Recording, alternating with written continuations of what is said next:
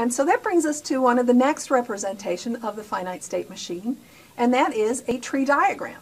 So a tree diagram, I can find a way of visualizing what's going on as time goes on. So it has the same principles as the state diagram, and really it's another state diagram, but this state diagram, instead of being something that turns in on itself, is one that uh, develops with time. So we have to start somewhere, and you can see there are labels here about what the state is. So I'm assuming that we start at state A, which is start with the registers set to zero.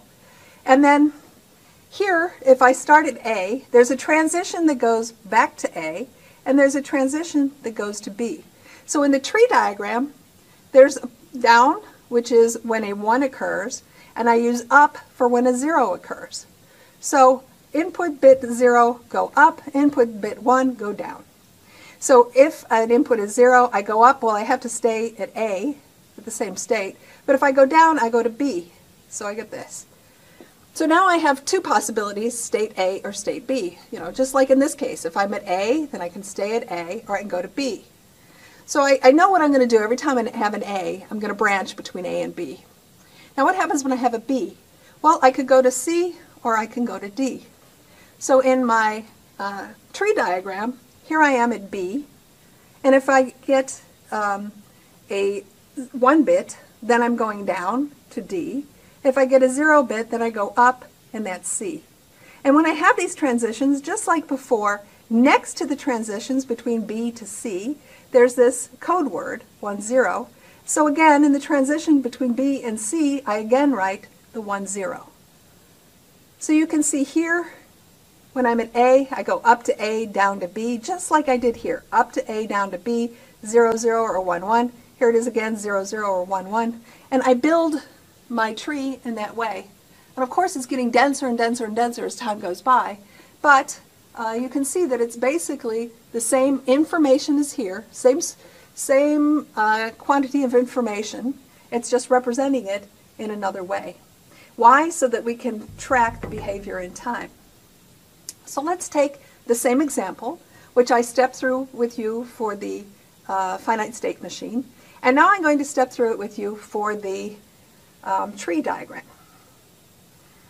So the first bit, first of all, I started A, assumption I started state A, and the first input bit was a 1. Remember, 1, go down. So I go down, and when I go down, the output is um, state uh, 1, 1 here, and the state is B. The next bit is 1, so again, I go down. Uh, the next bit is a 0, so now I branch up in this tree. The next transition is a 1, I go down again. Another 1, I go down again. And now I can look back, and I have traced through here all of my transitions, and I can go back and say, well, at each transition, what was the code word? So the first transition gave me code word 1, 1. The second transition gave me code word 1, 0. The third transition gave me code word 0, 1. The next one gave code word 0, 0. And the one after that gave code word 0, 1. I kind of ran out of space here, so we, we stopped our, uh, uh, but we could keep going in this manner.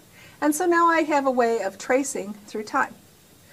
Geez, that look good, except, you know, I don't have enough paper. I don't have enough real estate. So is there another way that we can get this nice uh, flow of time, but in a compact way, so I don't have to uh, uh, go through this exponential growth in the number of elements in my, in my diagram? And there is indeed a way of doing that. So, so far, we've seen finite state machine, or we've taken that finite state machine and written in a tree hierarchy. So just to show, again, the parallels, before I would step through, and now I'm tracing through here. It's exact same uh, manipulations. Okay, so now, what are we going to do with this tree? How am I going to make it more practical? And the way I'm going to make it more practical is doing something called a trellis. Trellis versus a tree. I don't know if you're familiar with the word trellis, what it is exactly, but it is um, like I have one in my garden, a nice trellis, and it's got a lattice on it, like this. And then on this lattice, I, you know, grow flowers. And this trellis is, you know, if I look at any point in it, you know, it's very structured, really repeats itself. And that is what we're going to do. We're going to build a trellis as a way of representing what is essentially the same information that was in the tree structure. But the trellis is, of course, more compact. But even more importantly, it's the trellis that lets us see what's going on in a decoder. So let's really get a good look at what is a trellis and how do we represent the finite state machine with the trellis. So here is a trellis for the encoder that we have been examining so far. And we can see, first of all, the first part of the trellis is a list of states. So each one of these points represent the state in the finite state machine. In our case, there are four states, A, B, C, and D. And of course, we have uh, different transitions that can happen. So these would be our valid transitions, either one with a solid line, excuse me, zero with a solid line, or one with a dotted line. And as I look at these transitions, just like I had before in my finite state machine, valid transitions, next to each one of the valid transitions, I write the code word that comes out from that transition. For instance, there's a transition from A to A, stays here in the same state, and the output then would be 0, 0. So this representation is a way where we can take the information, which is about a transition from A to A, A to B. And my tree, I was like constantly repeating it, repeating it, repeating it, but also expanding out. Here, I take this compact form where I have all the information, all of the valid transitions, all of the code words next to the valid transitions, and I just repeat it, tile it, one after the other. And that's how I build my trellis. So, take those transitions, write them out once, and then just tile them one after the other. So let's take this trellis and see how we can take our data, which is listed here, and push it through this trellis and see how we can represent what happens going through this trellis. So this will be my data input. Down here I'll keep track of my data output. So the first thing I do is I start at state A and I input a 1. Great, that's the dotted line. I go from A to B, and the output is 1, 1, the code word.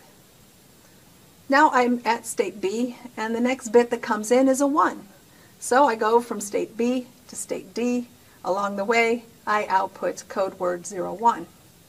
Up here at the top, I'm also keeping track as a function of time what data I'm putting in. So what I'm pointing to here, I'm just repeating it at the top here. So third data bit is a, a 0. And so I do the transition on the solid line. I go from state D to state C. Along the way, I output code word 01. I'm at state C. I now have an input of 1. So I follow the dotted line, and that takes me from uh, uh, to state B, and along the way, I output code word 00. I'm at state B. The next word, the next bit in is a 1, and now I transition down to state D and output the last code word along the way. So what's great about a trellis is I can see the development with time. I can see a path, a path through the trellis that represents this stream of data that was encoded. For, the path is just the sequence. This sequence determines the path.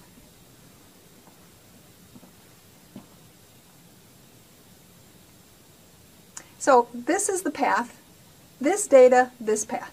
When I have a path, you show me a path, I'll tell you what the data is.